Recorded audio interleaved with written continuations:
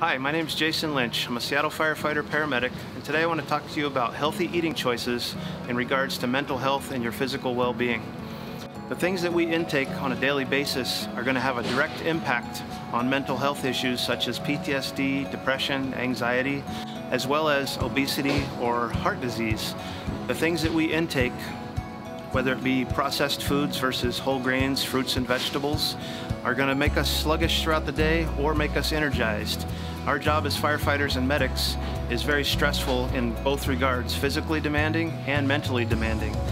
So when it comes to breaking bread at night at the dinner table at the fire stations, we like to try to have a balanced diet, reduce the amounts of processed foods, whole grains, vegetables, lean meats, We've shifted away from three loaves of bread at the table to more vegetables.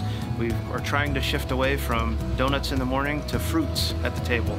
So getting enough sleep, getting enough water, and having a balanced diet is something that we rely on to make sure that we can do the job right for you.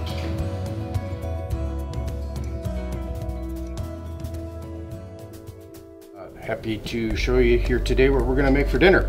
Uh, it's called a Brazilian fish stew called moqueca. Uh, it is a, an abbreviated version where you can put a lot of seafood in it if you like, or you can just use one single. So we're just going to use uh, wild caught Pacific cod for our fish and fresh vegetables and a few spices. Uh, it doesn't take long to make, uh, maybe 20-25 minutes, and that's it.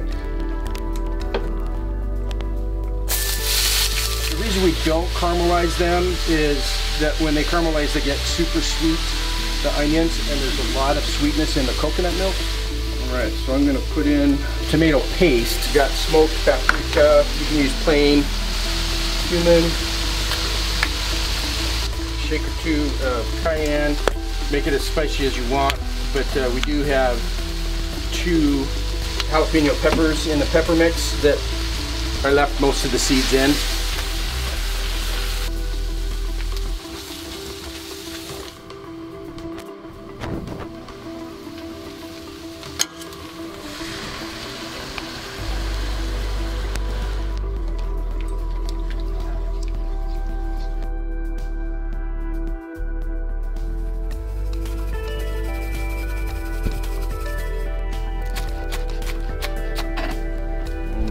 Chop up some cilantro.